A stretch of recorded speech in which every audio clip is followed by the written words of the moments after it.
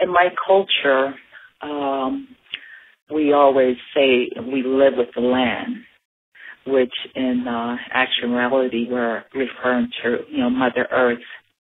And uh, our environment and all the natural formations are very important. And uh, you know that's what we refer to as Mother Earth, and uh, and we you know respect everything Mother Earth provides in the form of you know all the beautiful sacred mountains, all the mesas and the plateaus and the plants. As an artist uh, and as a weaver, I'm always looking and observing and photographing and admiring the landscape that I'm very familiar with. And I grew up surrounded by many mesas and many plateaus and mountains. And Black Mesa is an actual location that I know very well, and this particular location uh, inspired me to create the tapestry Black Mesa. My weaving has been passed down for you know many generations, and I'm a fourth generation. So basically, I can say I'm born into a family of weavers.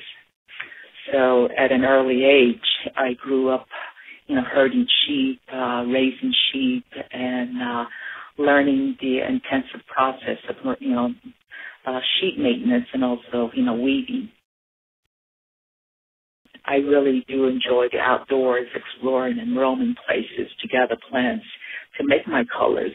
And I use a lot of the, uh, you know, common plants that grow in my area, uh, near where I live. So I get to use, you know, plants that, uh, you know, my grandmother and my great grandmother used that grows, you know, near where we live in the mountains and about a lot of my inspirations uh, for my tapestries uh, come primarily from my home environment on the Navajo Reservation.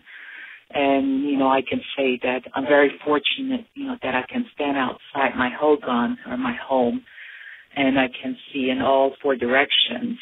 And there are formations outlined in step patterns in all shapes and forms painted in many shades of intense bright hues of reds, yellows, orange, pinks, purples, and even the dark colors of the night.